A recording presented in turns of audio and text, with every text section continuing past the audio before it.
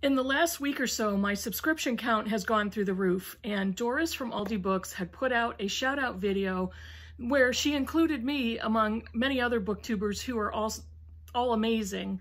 And Doris, I think my subscription count went up by at least 20, 25 people. Thank you so much for putting me on that list, for talking about me in your video, and I really appreciate it when I get to the point where I have as many subscribers as you, hopefully I will do the same thing and shout out small booktubers to try to give them a little bit of a boost. Um, if you have subscribed and it's not because of Doris's channel, I can only conclude it's because of my sparkling personality, charm, and, and endless wit, and self-deprecating humor, of course. Oh, and my intelligence.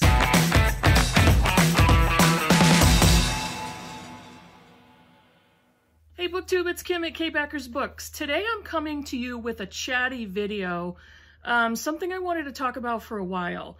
This is not a new topic. There have been um, dozens, if not hundreds, of videos out there on BookTube regarding consumerism on BookTube and purchasing books and physical books versus electronic books or audiobooks or library books.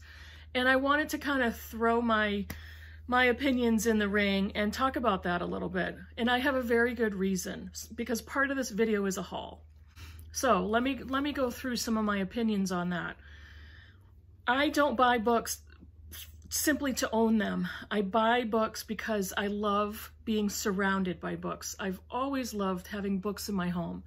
I didn't grow up with books. The the first time I can remember having books in my home, I was probably in my mid-teens and I somehow acquired a um, free discarded um, three shelf metal bookcase from my my dad's place of work. And it was it was grody. So it was three shelves high but it was fairly wide made out of gray gunmetal gray metal. But it was pretty decent for size and i i filled it very quickly. But ever since then i've always had books and i've loved being surrounded with books. I read them. Um, I can't keep up with the quantity that I have now, but the reason I have so many is I love being surrounded by them. I I don't really buy anything else except for things that I need. I don't enjoy shopping for stuff just for shopping as a hobby, and that's not why I purchase books. Um, where where does the conversation about consumerism come from? Why do we want to buy? Why do we spend money on books? Again, everybody has their individual reasons. Those were mine. Um, it's not about having them and it's not about bragging about them and it's not about showing them off. I have seen many, many booktube videos of people who display them a certain way, who stage them. Um, I got really angry in a, a few videos back or several videos back where I talked about people not on booktube but people who decorate with books.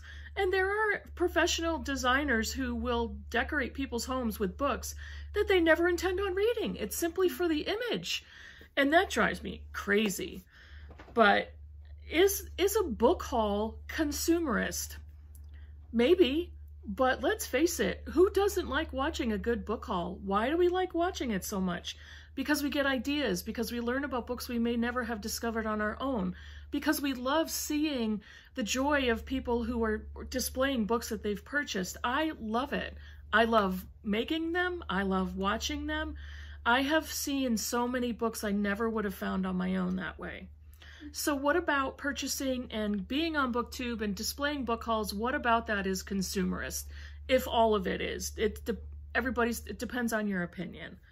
So I guess it's up to a viewer or an observer to decide how superficial is our book purchasing habits? How superficial are we if we like to be surrounded or love to be surrounded by books?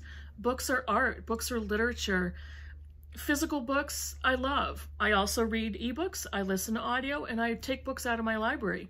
So I acquire books in every single manner possible.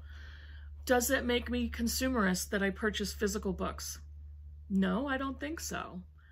We, we have to judge ourselves. It's not up to us to look at anybody else's reasons and label them as consumerist. So why am I saying all this? I have a book haul, and this is a different one, and I'm not going to actually tell you the the reason, the big reason until I'm done. So yes, this is this is a plug, and this is a cliffhanger, and I'm going to make you wait. But I think my reason is pretty good. So let me get going. I've got 16 books to show you.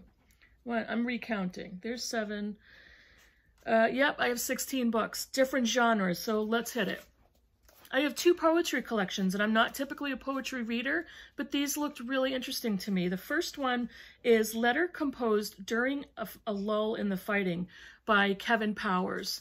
And this was published in 2014. Kevin Powers was, um, he may still be, um, a machine gunner in the army, and he was in Iraq from 2004 to 2005. And the theme of these poems are moments that make up a soldier's life, trying to make sense of the war. So this this um, appealed to me immediately. I'm really interested to read poetry based on his military experiences um, from the war in Iraq. The other poetry collection is Voyage of the Sable Venus and Other Poems by Robin Coste Lewis. This was published in 2005. This cover is gorgeous, and I don't usually buy books with photos on the cover, but I love this one. Um, Robin Coste Lewis is a Provost Fellow in Poetry and Visual Studies um, and a Humanities Fellow with an MTS in Sanskrit and Comparative Religious Literature from Harvard Divinity School. Really fascinating. Uh, it's a debut poetry collection with the theme of the black female figure through time and roles that desire and race play in the construction of the self.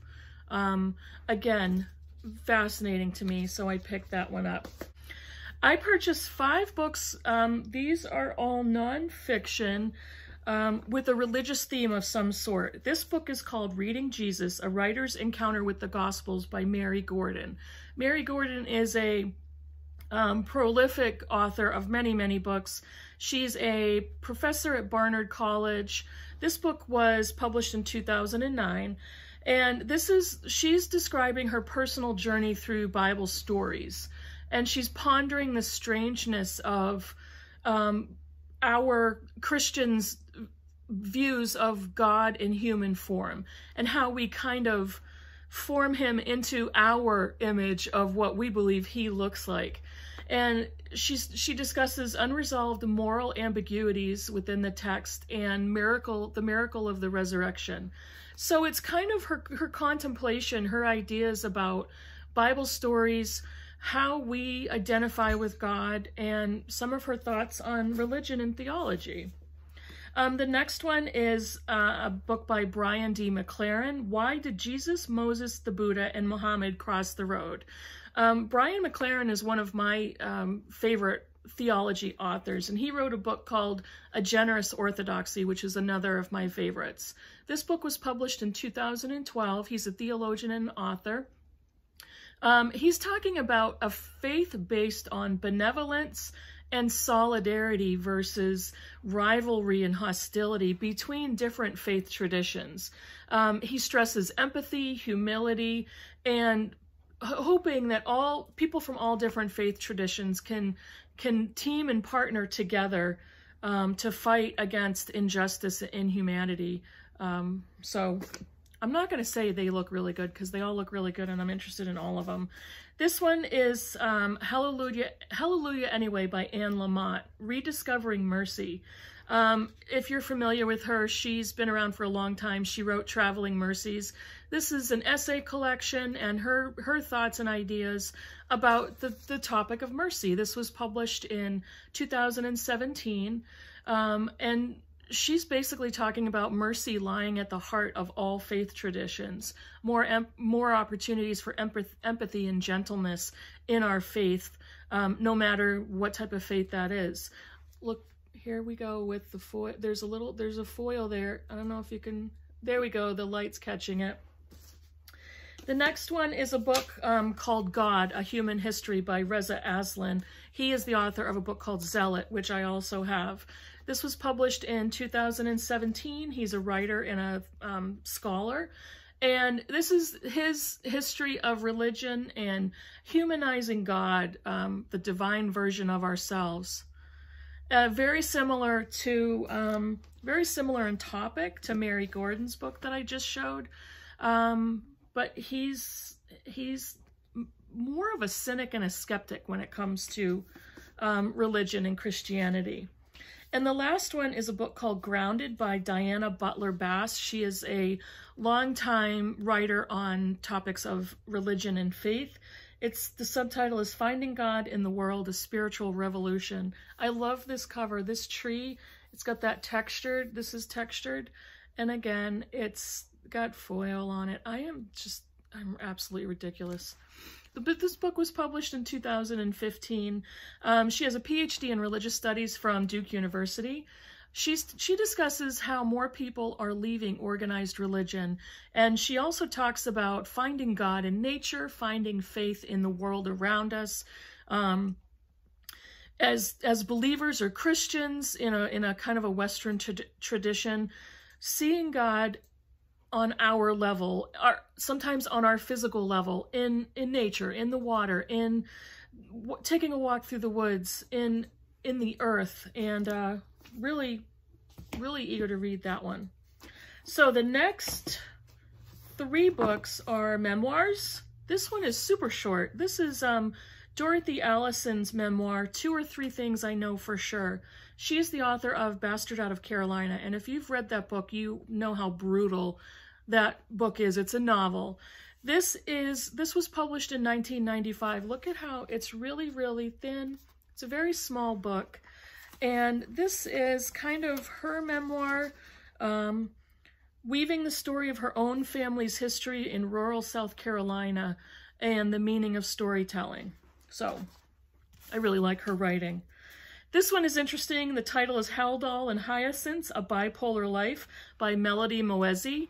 This was published in 2013, and she is a, let's see, she's an Iranian-American Muslim activist. Um, she was born during the Islamic Revolution and raised by Persian parents amid an affectionate and gossipy Iranian diaspora in the American heartland of Dayton, Ohio. I'm always fascinated at how people end up in, in you know, people immigrating to the United States and ending up in the states that they end up in. She's talking about being diagnosed with bipolar disorder. And Haldol is an antipsychotic medication. It's a pretty heavy duty medication for people with um, living with certain mental illnesses. And it it affects mania and bipolar disorder. It's a sedative and can also at higher doses cause a movement disorder um, that you eventually lose control of. But she's talking about her experiences with her diagnosis and how that works within her family and her culture.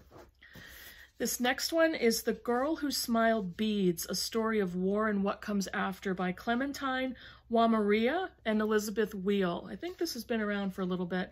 It was published in 2019. I've seen it a few different places. She is a Rwandan author and a human rights advocate.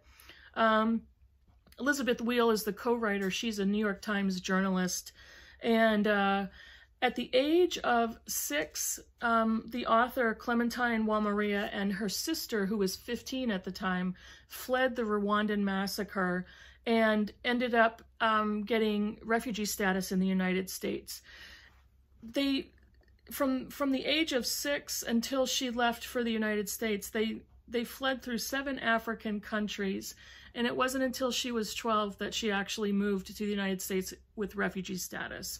Um, but this is talking about the the Rwandan genocide and um, the her escape, her and her sister's escape, and their their paths diverge wildly. Her sister becomes a single mother and is struggling. She ends up being um, taken in by a family who basically treats her as their own. And so she and her sister live wildly different lives. The next two are biographies. And um, since the passing of Ruth Bader Ginsburg, I have, um, I'm far more interested in learning more about our Supreme Court justices. And I found this one called Showdown, Thurgood, Thurgood Marshall and the Supreme Court nomination that changed America by Wil Haygood. And he is the author of The Butler. I don't know if you remember that movie. I think he also wrote the screenplay for The Butler. Um, this book was published in 2015, and of course, Thurgood Marshall was the first African American Supreme Court Justice. Whew, I'm trying to talk fast because the video's getting long. This one is Alex Haley in the Books That Changed a Nation by Robert J. Norrell. This was published in 2015. Um, he is a professor at the University of Tennessee. This is talking about the books that Alex Haley wrote that were so influential. The book um, Roots, which was written in 1976, and the autobiography of Malcolm X, which was written in 1965. And after Alex Haley wrote Roots, there was a lot of controversy and scandal surrounding his source material and his genealogy that um, it, there were questions about did his family really originate from slaves? All right, four more. These are novels. These are all fiction. this one is um, Before the War by Fay Weldon.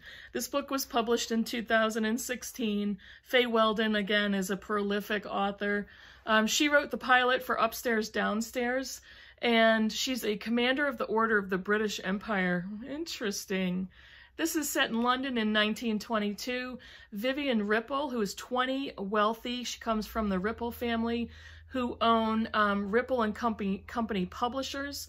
She's she's 5'11", plain, but 20 years old and rich, and she is at her father's publishing company and a poor, frustrated editor named Sherman Sexton um, kind of is trying to figure out what to do because he's going broke. She proposes marriage to him, and the story develops from there. This one is The Lauras by Sara Taylor, published in 2016. Um, she wrote The Shore and was longlisted for the Bailey's Women Prize in Fiction. Um, this is the story of Alex, who's on a pilgrimage of self-discovery. Um, and her mother kind of takes her on this journey from Virginia to California. It's a coming of age story, large cast of characters, and it's there's a there's themes of gender identification and it's kind of a exploration and study of identity. This one is Twain and Stanley Enter Paradise by Oscar Hijuelos. Um, Oscar Hijuelos is a Cuban-American author. He passed away in 2013. He won the Pulitzer Prize for the Mambo Kings Play Songs of Love. And this book was published 2015. It is the story of the 37-year friendship between Mark Twain and what is his name? Sir Henry Morton Stanley. Um, Hijuelos took 10 years to research and write this book, and it's basically a fictional retelling of that 37-year friendship between Twain and Stanley. So it's not a short novel either. The last one is Mrs. Osmond by John Banville. Um, this cover, look at this cover I really love. There's some silver foil on that one. But this was published in 2017. John Banville is the Irish author of The Sea, The Blue Guitar. He won the Man Booker Prize um, and a bunch of literary prizes. I don't, I'm not going to list them all. Um, this is a retelling of Henry James' Portrait of a Lady, the continuing story of Isabel Archer, who comes into a large inheritance and is kind of duped into a marriage um, to a to Gilbert Osmond. Um, she is, he's charming but poor and basically kind of takes her for what she's worth and is just a horrible husband. Um, she has the chance on a solo trip to Italy to leave him, escape his, escape their marriage, and she goes back to him. So it's definitely going to be an analysis and an exploration of that. So those are the 16 books that I purchased um, Sunday. Now, today I'm filming on a Wednesday. Last Sunday, I, let me back up. I posted a video several videos ago about Book Warehouse in Kittery, Maine that was going out of business, and they started to have a sell-off. And at the time, hardcovers were $2 and paperbacks were $1. And I, I went and I bought a few books then. Sunday was their last day, and they were selling off everything, five books for a dollar. So I bought 16 books for $3.38 total. now I felt I felt a little guilty about that because I kept thinking I kept thinking about this topic of consumerism and supporting authors and what does it mean buying all these bargain books because that's basically what they are. They're brand new overstock bargain books. None of them are new releases. The the store is not a new release, is not a bookstore for um, all genres and all and new releases. It's it's all bargain books, backlist books, which is actually the books that I tend to buy most often. Should I feel guilty about this? No, I don't think so. I didn't buy any of these books just to own the books. I bought the books because they were interesting and fascinating to me and, and appealed to me immediately. Um, it's not about consumerism. It's not about me being a consumerist. It's about me taking advantage of the pricing and the bargains that I received to acquire so many books that I had seen there in the past, but at the time were, you know, upwards of eight or nine dollars a piece. So this, had I bought all these books brand new, it would have been several hundred dollars um, for me to buy them. And I'm not at all justifying or saying that don't buy new books, they're too expensive. They are really expensive. You know, some new hardcovers are like 30 $32 these days. Um, and honestly, my budget can't handle that. So I was really happy to um, support the employees in the store on the last day so they don't have to move out more books. I was really happy to get these books at the prices that I was able to find them at. And I'm going to go forward and enjoy them and uh, work on my sense of guilt, work on my sense of, am I buying too much? And I do tend to buy a lot of books. I buy a lot of used books, a lot of bargain books, a lot of library books, all kinds of books. I also give away a lot. I donate a lot. Why am I justifying? Why am I telling you all this? And it's not a matter of guilt. It's there's so many different ways to acquire books and there's so many different ways to own books to each his own. And uh, let's enjoy the entitlement, the the opportunity, the chance that we have to purchase and to take the time to read them. That's it. So, um, whew. Thanks for watching. If you haven't subscribed, please do that. I would love for you to do that, and thank you. Uh, write a comment below, and I will see you in the next video. Bye.